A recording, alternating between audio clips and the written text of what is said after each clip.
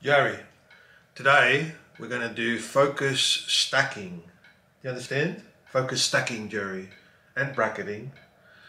G'day, how you going? So I'm going to do some focus stacking and focus bracketing. All you really need is your camera. I'm going to use the Olympus. Most cameras do it these days. Show you the menu.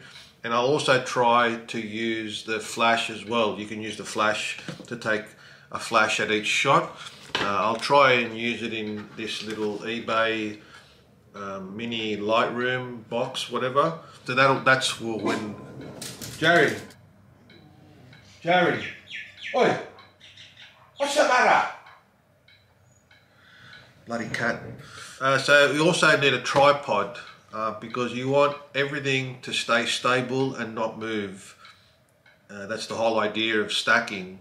Stack the photos on top of each other.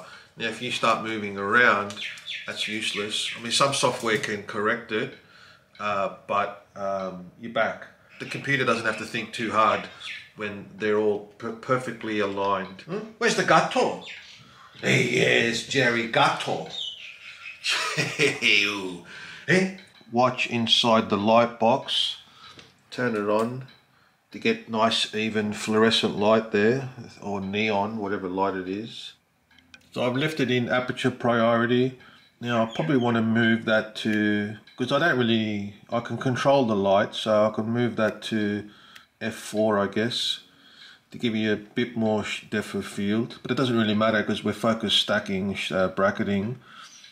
And I've put it in autofocus and manual focus See that one there?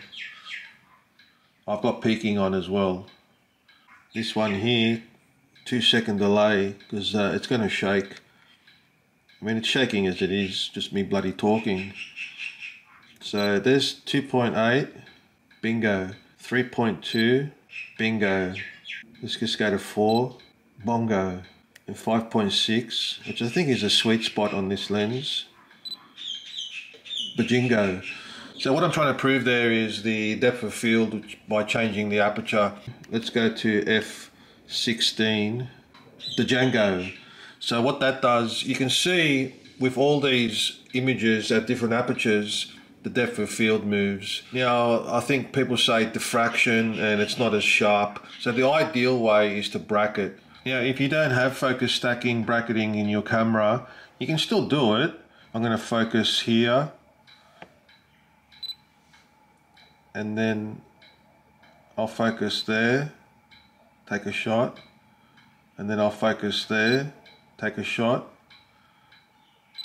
You see what I mean? You're slivering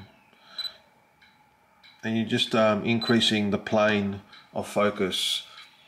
So you can do that, take all the shots, put them all in post and, and stack them all together that way.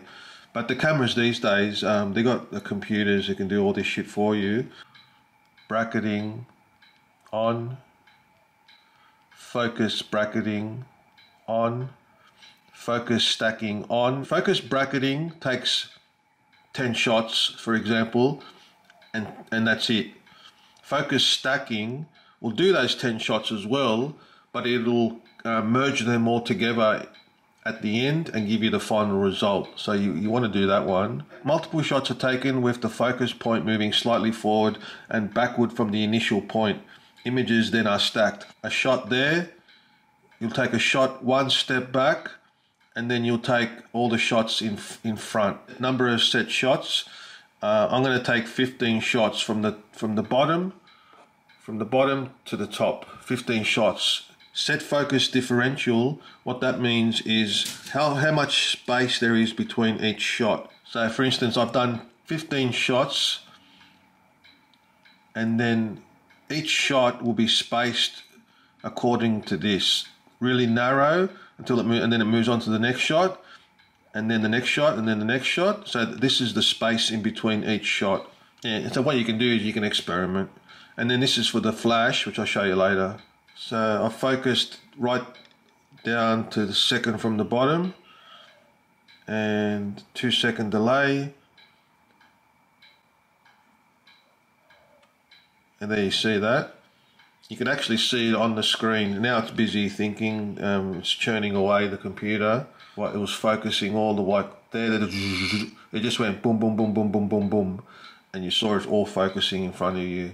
All right, now that that's done, let's take it into the computer and see what the hell it did. Jerry, you gonna help? All right, so this is the stack of 15 images. I mean, OM Workspace. You can use anything you want, uh, but OM Workspace works well with Olympus, and there's actually a tool in here called Focus Stacking, so even better. So as you can see, this photo here, if you look over it in order, you'll see it's focused there. That's the first shot. The next shot, next shot, next shot, and as you can see it's focusing all the way up from the bottom to the top. If you get a bit lost and you don't know what shot starts and where's the end, it'll tell you down here that it's the bracketed shot, the first one, the second frame, the third frame, all the way to the 15th frame. And then what happens after the 15th shot, you'll get the final image. Now this image is a JPEG only. It's not actually a RAW file. The final product is a JPEG. With the final image, you can either manipulate that or if you want, which a lot of people do, is they want to manipulate the RAW file and then stack them all together at the end. That way you'll get a, a better shot. So if you get this image here and do whatever you want to do with it. The exposure, you know, whatever the normal editing thing that you do, whatever you want, you know, put some vignetting if you want. Right click on that first one that you did, copy edit settings and select all of them, except for the JPEG at the end, obviously.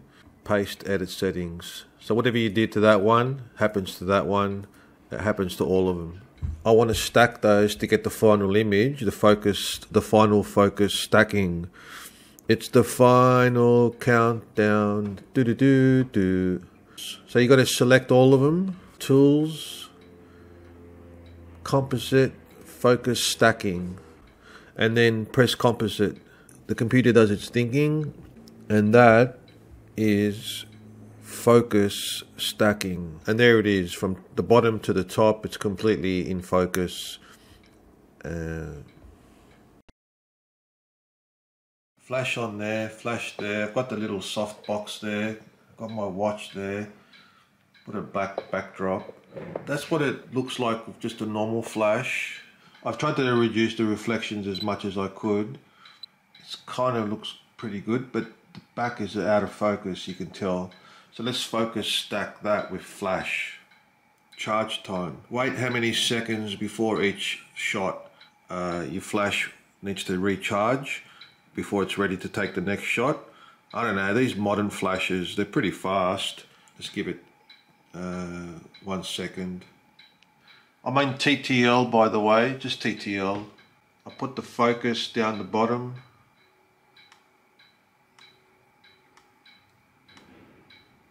That was shit. That didn't turn out. Okay, so what's happened is the cam the the object, the watch, isn't that flat. It's a little bit up. So I don't really need 15 shots. So what it what it did, it took 15 bloody shots, but half those shots at the end were all out of focus because it's trying to do a focus of all the way. We only needed about five shots to get the whole thing in focus.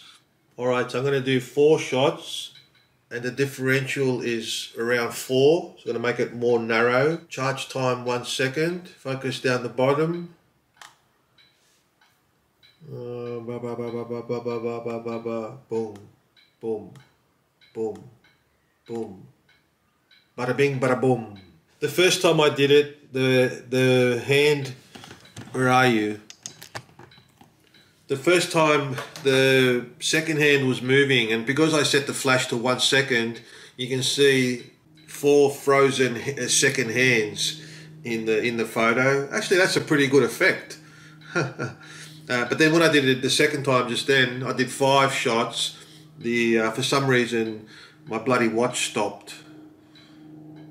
Oh shit. What my watch stop? I'm gonna have to get that fixed uh, I haven't wound it up. This is an old classic Seiko Lordmatic 1969.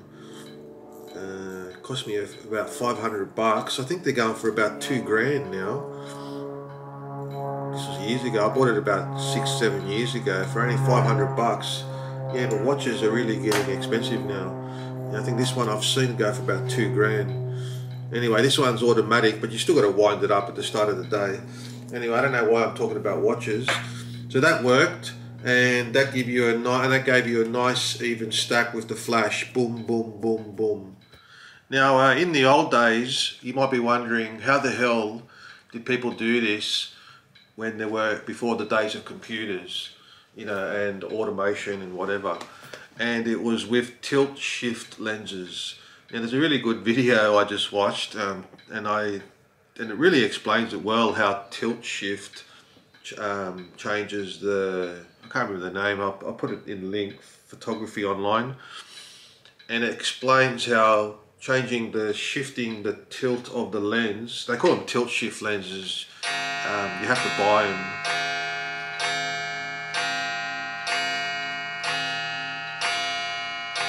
Jerry. Uh, they're special lenses and you they're mainly for landscape I think and it makes the depth of field sliver. Your your radar of depth of field goes like that. As the aperture grows or as the aperture gets smaller. But with these tilt shifts it somehow does it like that um, and it increases everything from the near to the far in focus tilt shift lenses I'll probably buy one one day uh, just to give it a go. But for this everything's become much easier now um, in the modern technology age. Um, but the downfall is you need a computer and you've got to stack it all together or you need one of the latest cameras. With those tilt shifts it's it's in camera. Um, you're manipulating the depth of field in camera, so you don't need to stack or uh, or anything like that. Joe, what are you doing? You're catching some sun. You're not going to help me with my focus stacking. Eh? You got the little tippy tail going. Jerry. What do you want to help? Huh? You're relaxing.